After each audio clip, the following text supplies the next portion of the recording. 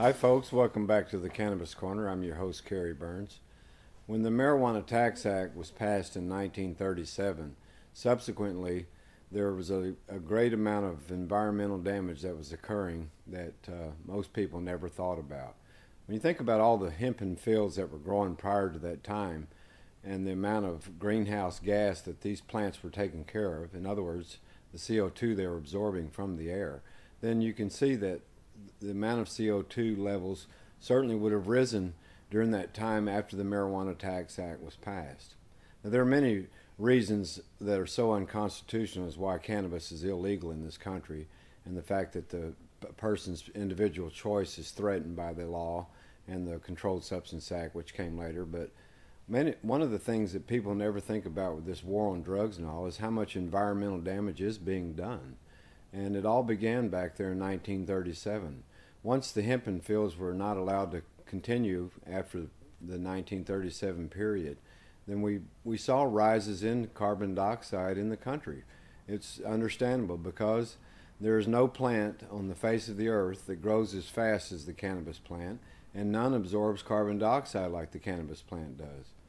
There are, there are many other environmental factors going on, though if you look at the uh, what the hempen fields did to crop rotations and stuff on the farms and all, these these types of plants when they drop that amount of leaf litter, they're going to do a tremendous amount to improving the soil and the humus value in the soil. Once that stopped, those layers were no longer added, and this this is an environmental threat. This messes up habitat, messes up soil ecology, messes up soil's bacteria but one of the major events that occurred, and this was recorded by the Ornithological Society of America, one year after the Marijuana Tax Act was passed, the songbirds of America did not sing. And this includes your canaries, the red birds, cardinals, blue jays, all the different types of songbirds, because hemp was responsible for about 70% of their diet. These, these large hemp fields that we used to have growing in the country provided ample amount of seed during the time that the plants were blooming and producing seed. And this was a tremendous part of the diet of many of the songbirds in America. And once the law was changed, these hempen fields were gone, the songbirds' diet was affected, and, and it affected the, the song output by the birds and all.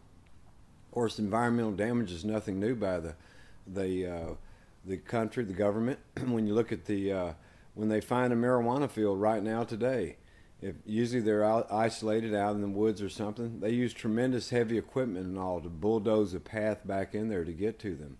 They destroy countless trees, shrubbery, low low lying vegetation, and a lot of these trees are nesting birds, baby birds, uh, infant birds, some eggs that even haven't even hatched and all. Yet their main focus is to plow this path, just ruthlessly plow through these different woods and stuff and get back to these spots where the cannabis is growing. Even when they do an aerial uh, find with the helicopters and all and try to come in there from the air with the helicopters, they still do tremendous amount of damage. Not just the destruction of the marijuana plants themselves, which are hurting nobody, and they're helping the environment by growing there, but just the amount of pollution that's coming off the helicopter and the pollution coming off of the agents that are out there chopping the plants down. This is just a small fraction of environmental damage that goes on, but this is but this is a tremendous amount when you add the sum total up of what's going on and around our country. Another way that they're doing a lot of environmental damage is down on the border when they get in these high speed chases with these cars that they suspect are laden with with cannabis or narcotics as the border patrol likes to refer to cannabis. They don't even they don't even follow the protocol set by the UN drug control policy which now refers to it strictly as cannabis or cannabis resin, but along the border, and anytime it's convenient for the government, they refer to it as narcotics. But when they chase vehicles off into the Rio Grande and all, the oil, the gasoline, all that spills into the river. This does, an, does a tremendous amount of environmental damage. Not just right where the vehicle goes in, where it's the heaviest of the amount of damage, but this trickles downstream and affects fish, fish habitats, all of the ecosystem along the shores, and also within the water itself. And yet, no, nobody ever considers this particular factor. I mean, there's there's plenty of reasons as to why the cannabis should be legal. Uh, not to mention that it's just a personal preference and personal choice of people. But we need to take a really close look at this environmental damage. And it seems to be that our government doesn't care about the amount of environmental damage that they do. Shortly after Nixon had passed the Controlled Substance Act in the early 1970s and all, he, he came across to try to stop the flow of cannabis basically coming across the Mexican border. And one of the first things they did was to go down into the country of Mexico and to spray paraquat, which is a very dangerous quaternary ammonium herbicide. Now, this herbicide was spraying from planes just like they do crop spraying, which is ridiculous in itself. But when you're spraying a dangerous substance like paraquat, this was sprayed on the farmers, sprayed on the innocent people's lives down there. People that weren't even growing cannabis had paraquat sprayed on them, just so they made sure that they got all of it that was growing or as much as they could and all. And the environmental impact of this is, has never been studied.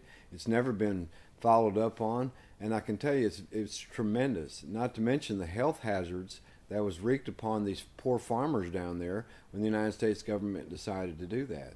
The environmental damage continued when the cannabis that did get sprayed was allowed to be harvested and sent to the United States to be smoked by the people here in the United States that were choosing to use cannabis, their constitutional right, by the way.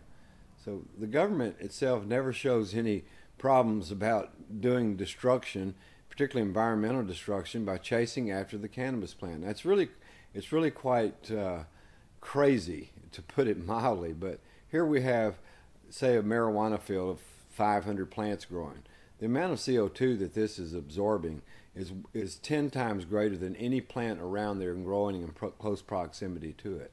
So why why would it make sense to go in there and destroy a plant that is environmentally beneficial and yet we do tremendous amounts of destruction to get to them and then the the amount of damage that the vehicles that they take in there the the fuel that's spilled a lot of them go in there with flamethrowers and they burn uh, crops up just i mean they spray them with toxic substances toxic herbicides even stronger than paraquat Agent Orange equivalents.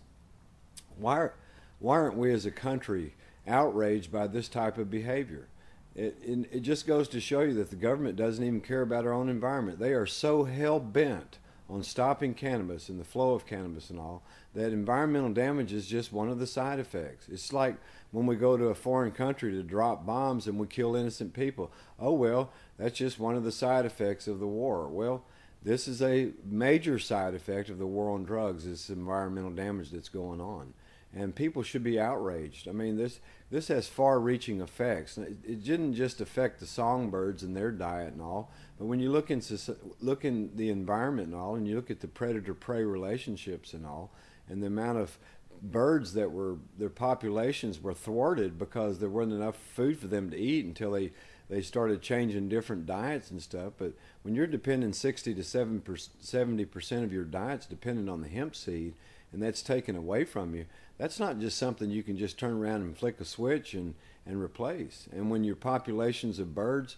dwindle, then you're you have it has a major effect on all sides of the spectrum, above and below than the predatory level for the birds. Not only the birds that are being taken for food by higher mammals and, and, and different animals, man included, but also the lower animals that, uh, that the birds used to feed on and all to keep those species and populations in check.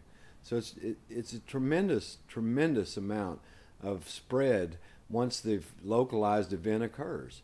Just like when, the, when they go in there to spray in Mexico. Sure, they thought that they were, oh, that'd be simple. We'll just go in there and we'll just taint the entire countryside with paraquat, and whatever that lands on is going to kill all the vegetation. Hopefully, there'll be some cannabis growing in there, and we can justify having to do this because you know people shouldn't be you growing cannabis in Mexico because it's bound for the United States.